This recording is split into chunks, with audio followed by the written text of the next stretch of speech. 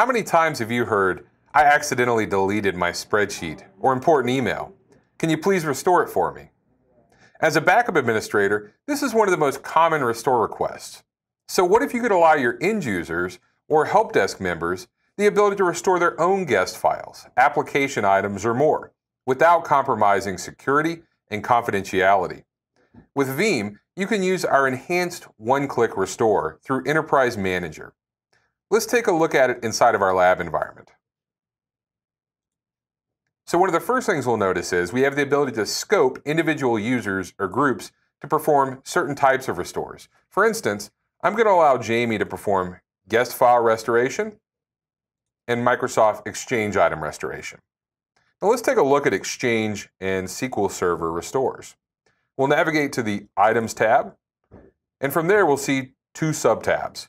For Exchange recoveries, I'm going to type in a username, pick an associated restore point, and then choose what items I'd like to recover.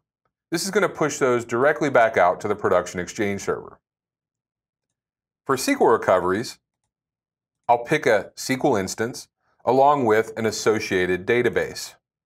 Now I could just hit restore and this is going to push that database directly back out to the production SQL instance, or I could choose a point in time using our slider.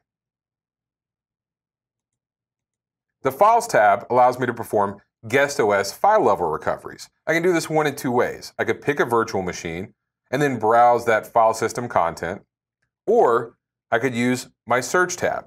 Simply type in an identifying characteristic, such as a part of the name, hit the enter button, and then find and choose your file you'd like to restore. Now this is going to search across all backups that I've indexed, including all restore points. The restore option allows me to overwrite an existing file or to keep a copy of the existing file. I could also download the file locally first. Now finally, let's look at the VMs tab. Now VMs tab allows me to perform full virtual machine recoveries.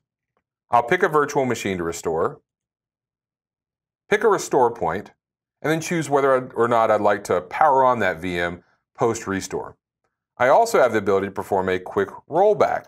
This is going to copy across only change blocks and update the existing virtual machine. So thanks for learning more about Veeam's one-click restore. And be sure to check out our other feature videos at veeam.com. Thank you.